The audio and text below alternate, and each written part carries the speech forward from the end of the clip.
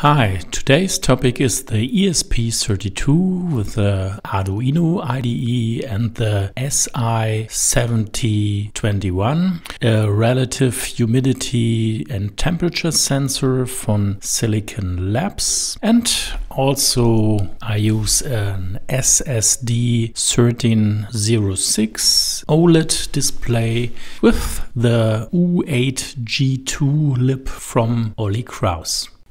So let's start with the humidity and temperature sensor, the SI7021. I bought it from AliExpress with a module and the module also came with a voltage regulator and I2C pull-up resistor and also for 5 volt compatibility uh, MOSFET level shifter and also some smoothing caps for the sensor. So that's all we need to run this sensor for the ESP32 with the 3.3 volt operation voltage. The OLED display I ordered also from AliExpress comes with an I2C bus and so we can use the same lines for the sensor and the OLED display.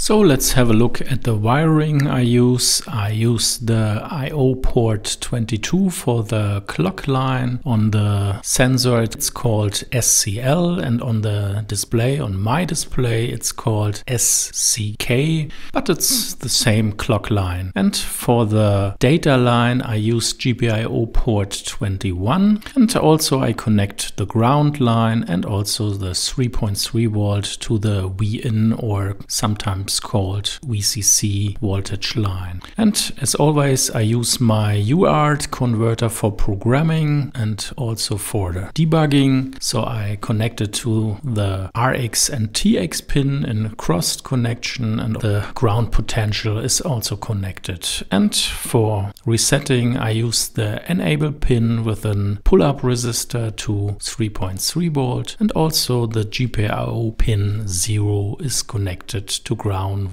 switch. So I also always can take the ESP32 to flash mode.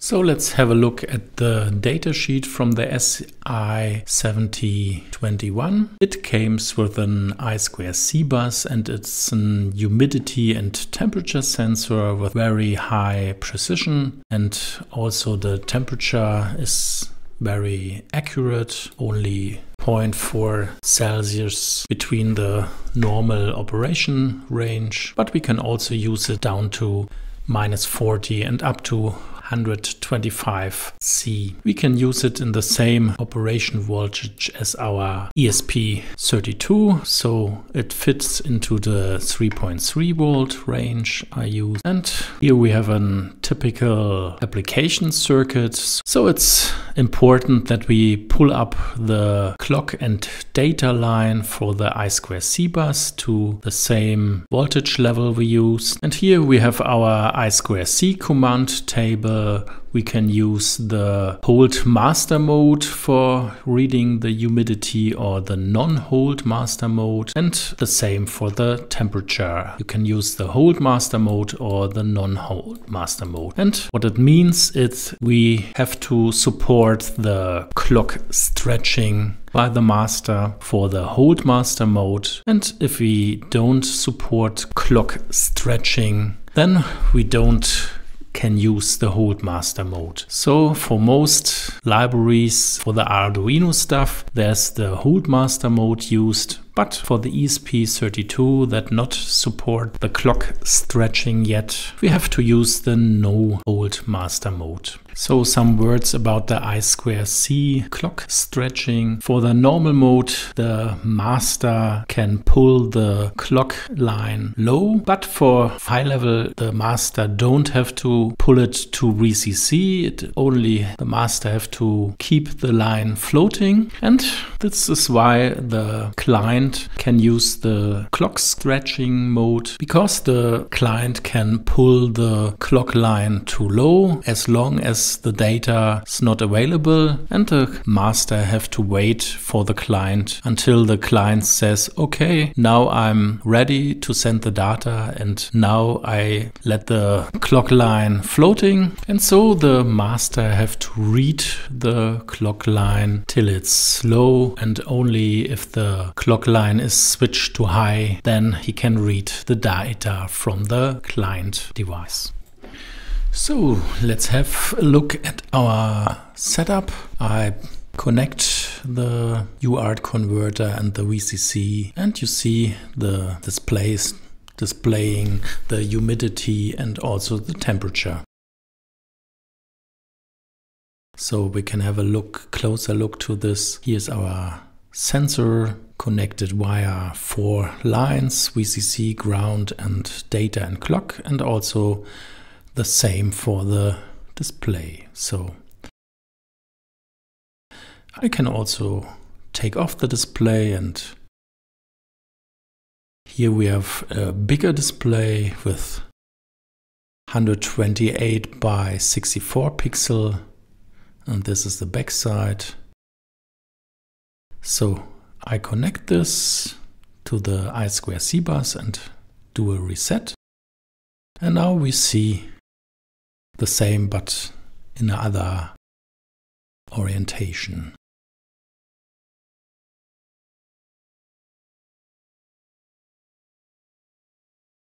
But let's switch back again to our small display. So I just connect it and press the reset button and we see our readings again. And the small dot is just an heartbeat. Now let's breath on the sensor to display some changes in humidity and you see the bar graph is rising up. So just another breath.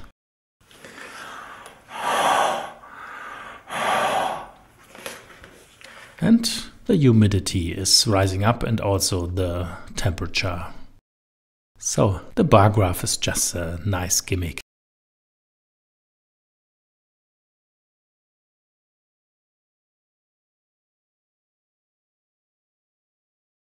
And we can take out our sensor and you see there's just a rise up to the maximum display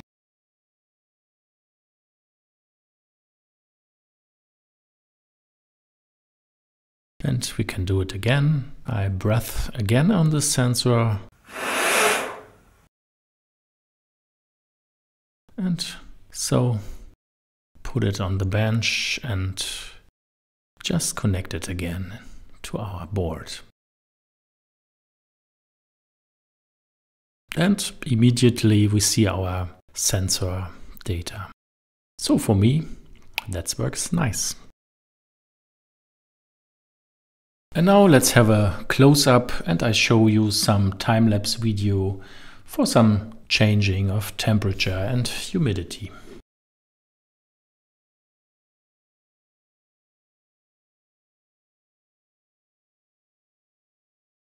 And now let's have a look at the Arduino code.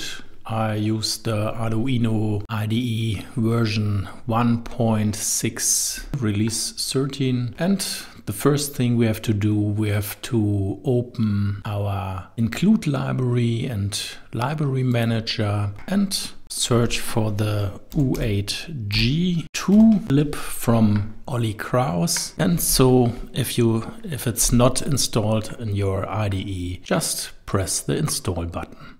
Or you can also use the GitHub page from Olli Kraus and you find the U8G2 library. It's an improved version from the U8glib and it's a monochrome graphics library for LCDs and also for OLED displays. So switch back to the code. We have to include the U8G2 library and also for I2C communication we have to include the wire library from the ESP32 and also the I2C library. And I use this define for my OLED display for the SSD 1306 and my display have 128 by 32 pixels. And I do some constants for our SI7021 sensor. And as mentioned, I use the non-hold registers for temperature and humidity because the ESP32 in my opinion don't support the clock stretching today. So I don't use any other library because they don't work and they all rely on the clock stretching. So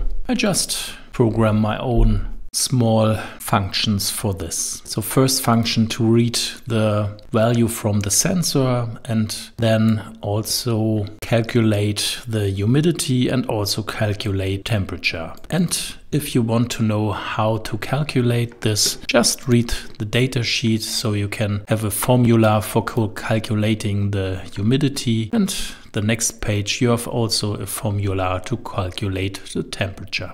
So switch back to the code. This is just for the humidity and temperature reading. And that's all my code to display the values to the OLED display. So we just draw a disk for the heartbeat. I don't do it every loop, I do it only every fourth loop. So then I get the humidity and temperature into a variable. Then I print out a string and also display the degree sign to the display. Then I put the string to a special buffer so we can print it out via our UART and also print it out to our display. And first we have to set the nice font that fits to our display. Then we put out the buffer and then I also draw a box in the size of the humidity so we have a bar graph. And then we send out the buffer. That's all.